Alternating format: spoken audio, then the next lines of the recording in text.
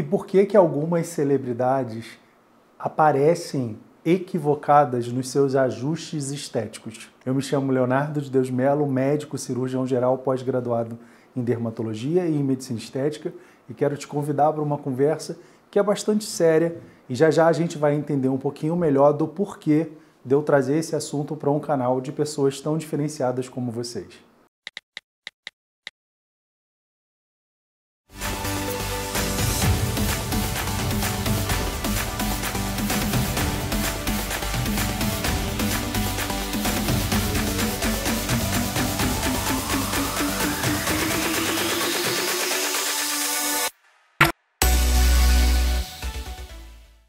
Bem, pessoal, lendo uma matéria de uma colega médica da Inglaterra, que eu particularmente eh, tenho uma certa afinidade com a maneira como ela pensa e executa a cosmetria, ela nas suas, nos seus veículos, nas suas mídias sociais, trouxe essa reflexão e para que algumas respostas fossem encontradas, eh, a equipe conversou com alguns outros médicos que lidariam com, com esse tipo de nicho, com essa clientela de figuras mais públicas. E, e o que se fez, basicamente, foi um resumo ali de cinco possíveis justificativas desses equívocos nos ajustes estéticos, nos tratamentos estéticos das celebridades. E aí, antes que me fuzilem nos comentários, é, eu porque acho que é importante a gente conversar sobre as celebridades. Não porque necessariamente eu queira gratuitamente criticar ou marretar qualquer uma delas. Não estou aqui para isso, do fundo do meu coração. Aham, sei. Aham, sei. Mas porque não apenas acho, mas tenho certeza que celebridades influenciam não apenas a clientela, a massa populacional leiga, como também, pasmem, a nós mesmos profissionais da cosmetria.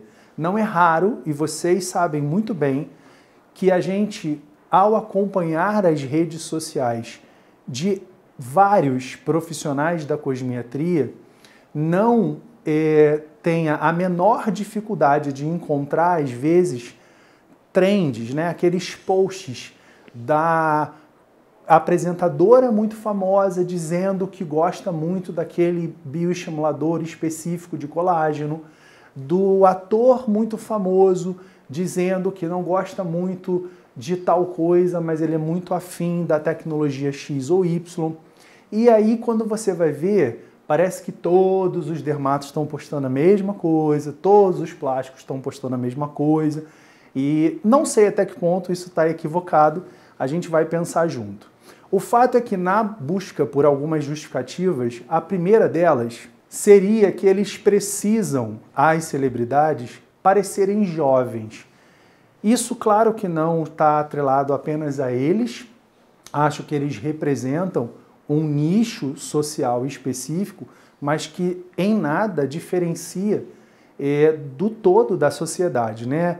E aí entram todas as questões de etarismo, a gente cada vez mais ainda aceitar ou valorizar a imagem jovem, a performance jovem, a figura jovem atrelada a uma marca ou a uma possibilidade de venda mais bem sucedida do que a figura pública mais madura de um idoso, de uma idosa e todo o ar pejorativo que vem por trás disso. Uma segunda possibilidade seriam as famosas trocas, permutas ou o famoso 0800, quer dizer, tratamentos gratuitos que, por serem pessoas muito famosas, é, eles, de maneira muito recorrente e com bastante facilidade, ganhariam.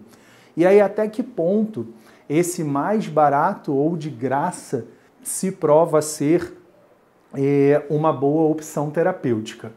Do ponto de vista médico, isso inclusive cai no lugar do antiético. É bom frisar, mas a gente está falando de todo um mercado da cosmetria. Uma terceira possibilidade seria o fato deles seguirem tendências, estarem sempre na vanguarda, na tecnologia que acabou de chegar, no injetável que está bombando, no protocolo que está causando na Europa. E a gente já conversou no, vira, no Sua Dúvida Vira Vídeo de até que ponto estar o tempo inteiro na vanguarda não seria banalizar todo um olhar e um pensar sério que nós temos que ter sobre os nossos corpos.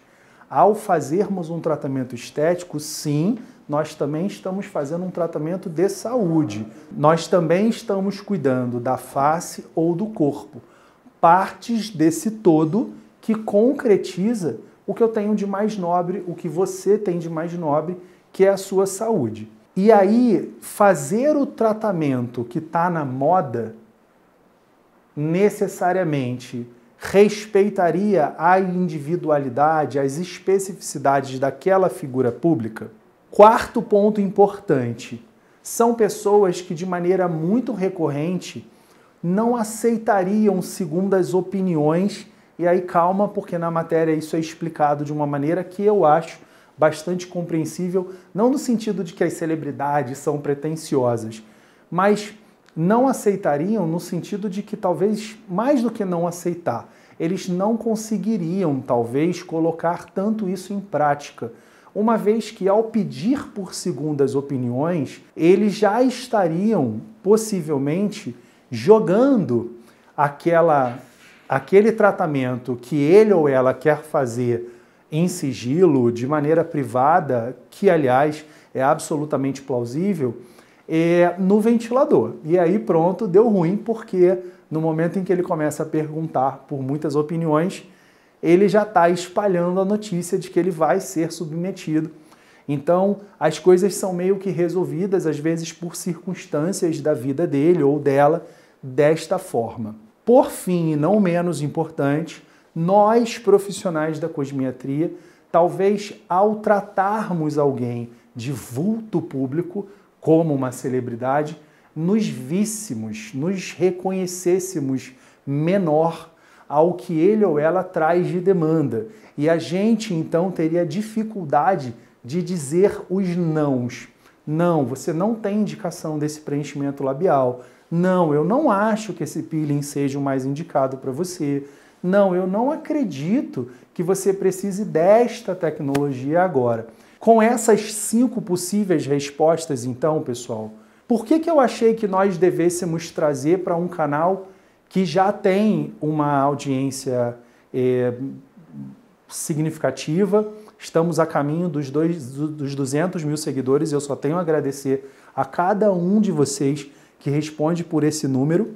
É, certamente a gente vai crescer cada vez mais, mas, sobretudo, porque eu sei que nós temos uma grande parte dessa audiência que eu brinco que são os nossos fiéis escudeiros que estão lá desde o início e que eu considero sim que são pessoas diferenciadas, especiais e que gostam desse conteúdo de qualidade e não as informações rasas ou aquele dedilhar rápido do Instagram, embora eu entenda que ele também seja necessário. Mas porque ao sermos diferenciados, e aí olha eu aqui sendo um pouquinho arrogante, né, para todos nós, é, eu acho que a gente está assim num, num nível de entendimento, de análise crítica. A gente gosta de cosmetria, a gente gosta de se sentir saudável, belo, de ter bem-estar através desses tratamentos, mas a gente precisa repensar os exageros e, sobretudo, os equívocos. De novo, para a gente fechar, pegar as celebridades não significa estar de maneira é, mal educada e deselegante apenas marretando-as, mas falando sobre figuras que certamente influenciam muito, tanto pacientes leigos quanto até nós profissionais. E acho que todos nós precisamos parar para repensar até que ponto usar da celebridade que falou que fez o injetável tal para legitimar esse injetável e, de certa forma, me ajudar a vender, ou fazer com que eu também faça, porque eu gosto dessa celebridade, estaria certo ou errado. Eu vou deixar essa reflexão no ar. Beijo grande, até semana que vem e juízo com a pele.